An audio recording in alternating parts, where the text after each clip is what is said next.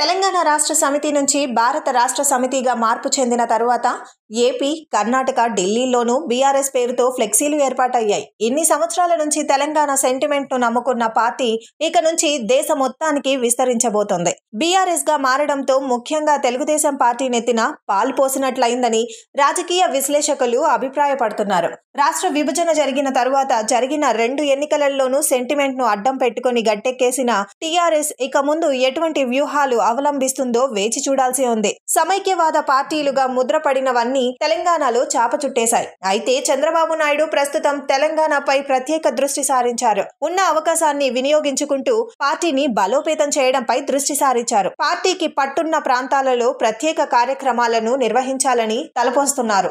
కాసాని జ్ఞానేశ్వర్కు తెలంగాణ తెలుగుదేశం పార్టీకి అధ్యక్షుడిగా నియమించిన తరువాత పార్టీ కార్యకలాపాలలో వేగం పెరిగేలా చూస్తున్నారు. గత ఎన్నికల్లో ఖమ్మం జిల్లా నుంచి రెండు సీట్లను టీడీపీ గెలుచుకుంది. పార్టీ నాయకులతో ఉమ్మడి ఖమ్మం జిల్లాలలో పార్టీగా బలంగా ఉందని సభ నిర్వహించాలని చెప్పడంతో ఈ నెల ఇరవై ఒకటవ తేదీన ఖమ్మంలో భారీ బహిరంగ సభకు తెలంగాణ తెలుగుదేశం శ్రీకారం చుట్టింది. చంద్రబాబు నాయుడు పాల్గొనే ఈ సభలో హైదరాబాద్ నుంచి ఖమ్మం వరకు నాయకులు కార్యకర్తలతో భారీ ర్యాలీ నిర్వహించబోతున్నారు. బహిరంగ సభ ఏర్పాటు చేస్తున్నామని నాయకులు కార్యకర్తలు భారీగా తర తరలి రావాలని జ్ఞానేశ్వర్ పిలుపునిచ్చారు.